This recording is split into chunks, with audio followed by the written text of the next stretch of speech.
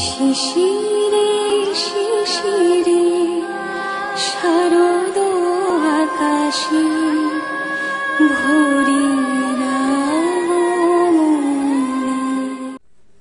রামকৃষ্ণ দেব বলেছেন, আদ্যা শক্তি আর ব্রহ্ম অভেদ ব্রহ্মকে ছেড়ে শক্তি হয় না যেমন জলকে ছেড়ে তরঙ্গ হয় না, বাদ্যকে ছেড়ে বাজনা হয় না যারই নিত্য তারই লীলা। সেই বাক্য মনের অতীত যিনি, তিনি নানা রূপ ধরে অবতীর্ণ হয়ে কাজ করছেন। সেই ওম থেকে ওম শিব, ওম কালী, ওম কৃষ্ণ হয়েছেন। তারই শক্তিতে সৃষ্টি স্থিতি প্রলয় হচ্ছে। রামকৃষ্ণ দেবের কথাটি আপাত দৃষ্টিতে দেখলে শুনলে সহজ মনে হতে পারে, কিন্তু ব্যাপারটি বেশ জটিল। আসলে বিষয়টি উপলব্ধি করতে হয়। প্রকৃত জ্ঞানী না হলে, ব্রহ্মজ্ঞান না থাকলে এত জটিল বিষয় আমাদের মতো লোকের বোঝা ও বোঝানো দুরূহ কাজ। এখানে একেশ্বর নিরাকার, সেই পরম ব্রহ্মের অদ্বৈত মহাশক্তির কথা বলা হয়েছে। যিনি বিভিন্ন সময়ে প্রয়োজনে ভিন্ন ভিন্ন রূপ ধারণ করেছেন, শিব, দুর্গা, কালী, কৃষ্ণ ইত্যাদি। দর্শক বন্ধু, নিয়ে যাই আপনাদের পশ্চিমবঙ্গের হুগলি জেলার রিসরায়।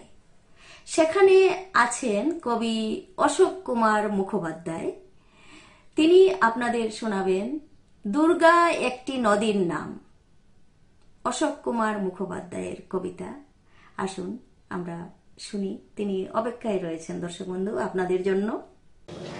সামনে দুর্গোৎসব শুভেচ্ছা জানাই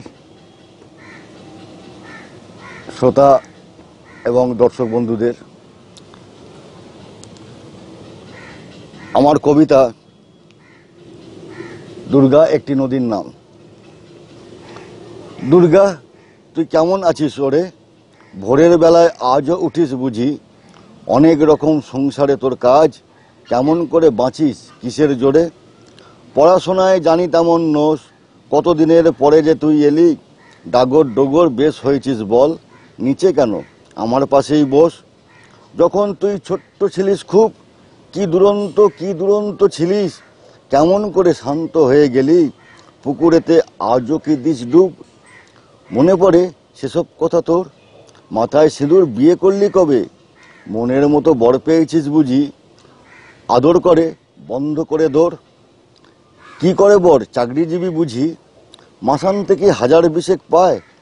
সরকারের যা মতিগতির ছিঁড়ি, চাকরি নেই বলছে সোজাসুজি। রক্ত বন্ধ হয়েছে কদিন আগে। এর চেয়ে ভালো খুশির খবর হয়? মাতৃত্বের স্বাদ আসছে কাছে। তোর পিছনে তোর কি বল লাগে? খুনসুটি খুব তোর সঙ্গে করে। তুইও তো খুব তাকে আদর করিস। কেমন করে হয়েও গেলি বড়? মেয়ে ভেবে আনন্দে বুক ভরে। তুই তো ছিলিস ভীষণ জেদি মেয়ে। ডান পিটাদের সর্দার নি ছিলিস। তুই বসতিস মায়ের কোল ঘেঁষে। সন্ধেবেলায় মা উঠলে গেয়ে হ্যাঁ রে সেই রবীন্দ্রনাথ গান। কীর্তনাঙ্গের গলা যে তোর মায়ের, পাড়ার সবাই মুগ্ধ হতো শুনে গানের মধ্যে সে ছিল এক প্রাণ। একে একে দুজন গেল চলে, বয়স তোর তখন উনিশ হবে, বাবা তোকেও এনে দিত শাড়ি, মায়ের শাড়ি তুই পরতিস বলে। তুইও হঠাৎ গেলি উদাও হয়ে, কোথায় ছিলিস তুই এতদিন ধরে? বলতো দুর্গা, এত বড় গায়ে কেউ নিত না তোকে সেদিন শোয়ে। তোদের বাড়ির ভগ্ন দশা দেখে তোর চোখেতে আসছে বুঝি জল? কি আর করবি? ভাঙতে হবে তালা। তোর জন্যই গিয়েছে মা বাপ রেখে। বাগান ছিল তোদের উঠোন জুড়ে, কত পাখি আসতো খাবার টানে। দারুণ ছোট্ট কাঠবেড়ালি যত, তোদের ছিল দু চালা এক কুঁড়ে। বর কোথায় তোর? আসেনি তোর সাথে? খুব সুন্দর দেখতে বুঝি বর। তোরও ছিল গানের গলা ভালো। সাই দিয়েছে নিশ্চয়ই বর তাতে। এ কি? তোর চোখে কেন জল? আনন্দে কেউ অমন করে কাঁদে? কেউ কি তোকে আঘাত দিয়ে ছেড়ে নিজেকে তুই ভাবিস না দুর্বল। যা বললাম কিছুই তার নয়।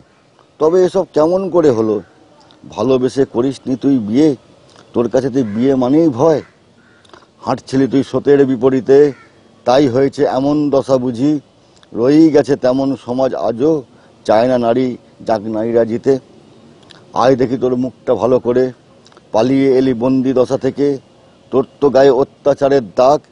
কে মারতো তোকে অমন জোরে? যাস না ফিরে ওখানে তুই আর। আমার কাছেই থাকিস কোনো মতে। তোদের বাড়ি সারিয়ে দেব তোকে। বাগানখানা করবি চমৎকার।